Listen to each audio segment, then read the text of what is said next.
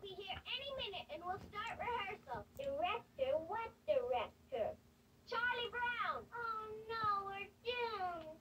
This will be the worst Christmas play ever. Here he comes. Attention, everyone. Here's our director.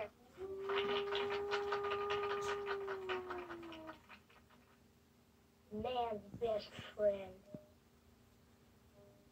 Well, it's real good seeing y'all here. As you know, we are going to put on the Christmas play. In the shortest of time, we'll get right down to it. One of the first things to ensure a good performance is strict attention to the director. I'll keep my direction simple. If I point to the right, it means focus, attention, stage right. If I make a slashing motion across my throat, it means cut the scene short. If I make a revolving motion with my hand, it means pick up the tempo. If I spread my hands apart, it means slow down. If the spirit The interest that they show in their director. Am I